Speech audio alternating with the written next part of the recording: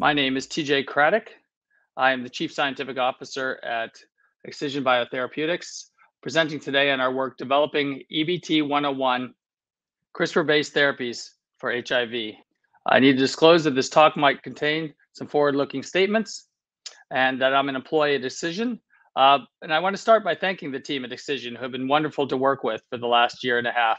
Uh, if I don't get to mention that later, we're we are currently hiring. Uh, but I also want to particularly thank our, our, number of different academic collaborators, including those at Temple University, who have a number of publications demonstrating the efficacy of multi-guide targeting of virus, including two that I'll highlight today. So I'd like to, in particular, thank Dr. Uh, Kamil Kahili and his group at, at Temple University. At Excision, we're developing CRISPR-based therapies intended to cure viral infectious diseases and improve the lives of chronically ill patients. Uh, we've heard a number of, of talks looking at uh, monogenic diseases, and as we're a bit different, I'll describe some of the unique features of targeting uh, HIV and our in our approach as, as it differs from some of these uh, uh, kind of established techniques for targeting monogenic diseases. I'll start off by reminding that, that CRISPR had a life before gene editing uh, as a bacterial adaptive immune system, including the bacteriophage shown in this cartoon. doesn't quite do justice to the high number of virus that are attacking the surface of bacteria. Uh, at Excision, we're using CRISPR-Cas again to target virus. This cartoon now shows HIV uh, and the human cells, though in both cases, CRISPR-Cas uh, targets the DNA inside the cells. At Excision, uh, we're seeking to improve the lives of, of, large patient populations with unmet medical need, including hepatitis B virus, herpes, uh, JC virus, and HIV. An estimated 38 million people worldwide are infected with the human immunodeficiency virus type 1. Uh, we've been showing the, this diagram for 17 years, almost uh, part of union rules uh, for gene editing. A single cut marked by these scissors is repaired using the cell's DNA repair machinery, resulting in generally small indels, only a few nucleotide. And this can lead to viral escape. And so I'm excited now to, to change this up uh, and, and, show uh, the diagram on the right, whereby um, we're using multiple guides. And in the case for HIV, two guides with three target sites uh, that can drive these large deletions that have minimal probability of viral escape. And I'll jump to a diagram showing their, their location. There are uh, one guide targets the LTR, and so it has a site in both the five prime and three prime ends, and a second guide targets the a well-conserved site in GAG.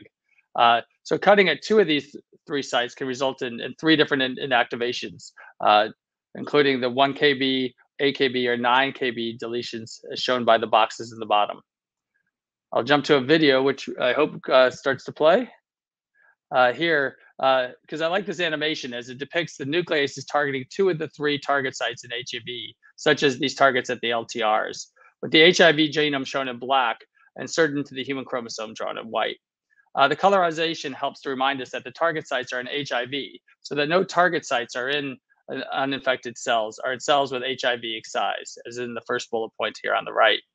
Uh, the dual guide viral excision strategy also um, removes the non-human DNA to return the genome to, to normal or near normal. And as with a number of the monogenic projects, uh, requires one-time therapy to remove this viral genome permanently.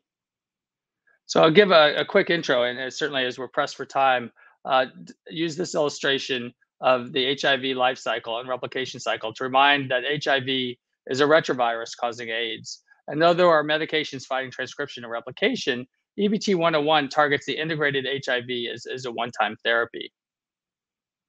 Uh, EBT 101 only needs to target the replication competent subfraction of HIV infected cells. So less than one tenth of 1% of the cells in the body become infected. The majority of the HIV DNA is not intact nor replication competent. So EBT101 expresses SA-Cas nuclease, dual guide RNAs, and is delivered by AAV9. I want to point to a, a number of uh, preclinical studies that have been published uh, demonstrating the efficacy of the dual guide approach in human cells, in uh, transgenic and humanized mice, and in non-human primates. One study that I'll discuss is, is from an NIH-funded work from the Kahili Lab and, and colleagues at Temple and the Gendelman Lab at University of Nebraska, demonstrating the elimination of HIV in humanized mice. This study irradiated NSG mice at birth, grafted with CD34 human hematopoietic stem cells. Uh, producing human T cells that are broadly susceptible to HIV infection. Four months after humanization, they were infected with HIV, and then they were analyzed for HIV persistence. Uh, they're broken into four groups the HIV controls, the humanized mice treated with laser retroviral gene therapy, humanized mice treated with Cas and guides, and the mice receiving this laser retroviral th- therapy and CRISPR Cas and guides. And again, it's a HIV uh, strategy uh, with the dual guides and delivered by AAV, uh, targeting these LTR and GAG sites. The first group of mice that were left untreated, these HIV controls. The second group received a single IV injection of AAV CRISPR-Cas. The third group were left were administered laser art in blue, uh, and then the, at the top you can see the group. Um, the CRISPR only line follows, but this art plus CRISPR treatment in green reconstitute the immune cells with 90% CD4 positive T cells. This uh, graph demonstrates uh, plasma viral load, indicating that after administration of the AAV9 CRISPR-Cas, two of the seven mice showed no evidence of viral rebound uh, at, at 14 weeks. So this is certainly very exciting that, that these were functionally cured mice, the first example of this. I'll quickly show this, uh, the panel at the right, uh, where uh, tissue imaging demonstrates removal of the viral genomes that are visible by RNAscope in, in the, the controls on the left. And the adoptive transfer of the spleen and bone marrow cells were performed on each group of humanized mice to assess the HIV reservoir levels. And this is certainly a, a difficult uh, assays to do to, to, determine the HIV reservoir levels. So that's why I'm particularly excited about this functional assay, which demonstrates the functional cure of these HIV infected mice. Uh, in the bottom right, uh, the mouse in, in white uh, were these mice that, that did not have rebound demonstrated in the previous graph. And bone and, and uh, bone marrow and spleen cells were adoptively transferred to naive mice uh, that uh, did not show viral infection. And so this was, as I mentioned, the confirmation that there was no latent HIV reservoirs in the tissues of these treated animals, which is certainly very exciting for us. Um, non-human primate studies were also conducted to assess biodistribution to the sites of the viral stores and to ensure that no significant findings, findings were found related to safety. Uh, and the findings, including the higher dose, are currently being written up for publication. Briefly, I'll give an overview that uh, we were able to see ex vivo uh, excision. Uh, there was, we saw uh, safety, uh, widespread tissue distribution, and removal of the SIV viral DNA from the monkey genome. So a question that often get is, is about the specificity. And so I want to highlight this because it's certainly a bit different. The viral sequences are, are compiled into a viral database and scanned for target sites. Uh, once we have the target sites, they go back to make sure that they're highly conserved through the viral uh, database. The next bioinformatics step, before we even begin experiments, is also to scan the human genome. Uh, there were a few talks today that, about this type of process, but very few are discarded. Uh, the, the, viral guides are quite orthogonal, as I'll mention in a bit, to the to the human genome.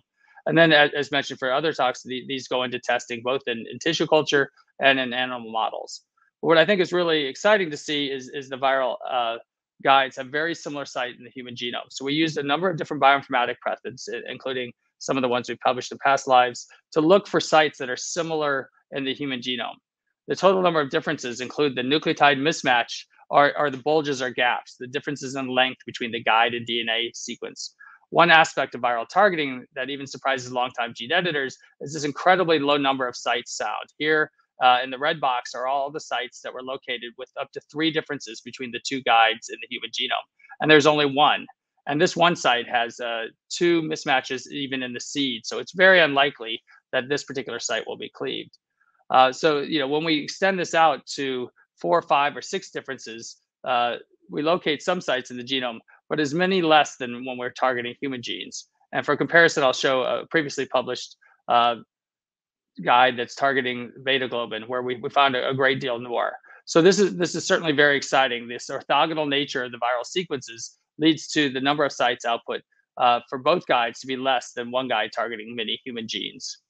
So we've done a number of different assays for possible off-target effects, including in human cell lines with latent HIV, human primary cells which don't have HIV, so we can see that it doesn't target uh, the human genome, humanized mouse models uh, and these NHP studies that I, I, described will, will be published soon.